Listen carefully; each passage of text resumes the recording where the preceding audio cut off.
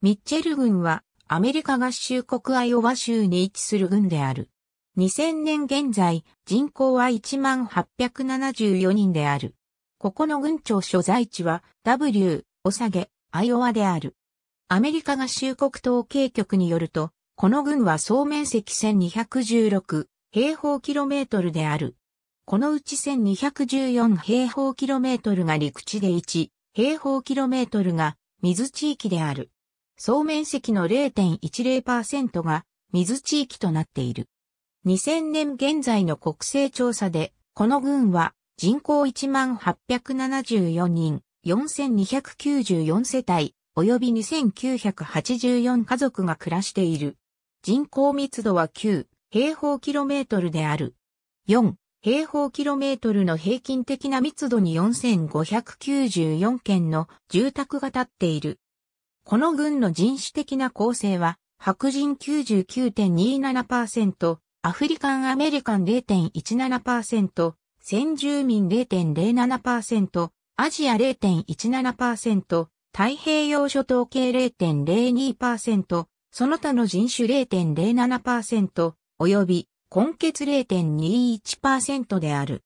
ここの人口の0.58%はヒスパニック、またはラテン系である。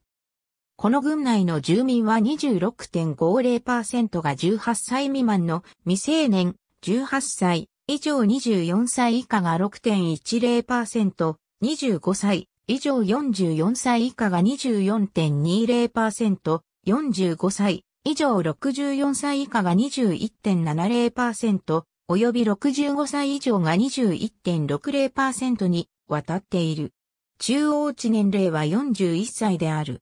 女性100人ごとに対して男性は95.70人である。18歳以上の女性100人ごとに対して男性は92.00人である。この郡の世帯ごとの平均的な収入は34,843米ドルであり、家族ごとの平均的な収入は41,233米ドルである。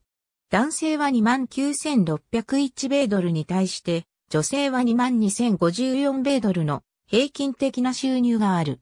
この軍の一人当たりの収入は16,809米ドルである。人口の10.70%及び家族の7.00%は貧困線以下である。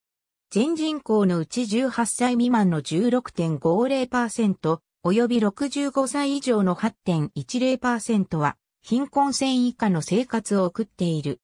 ありがとうございます。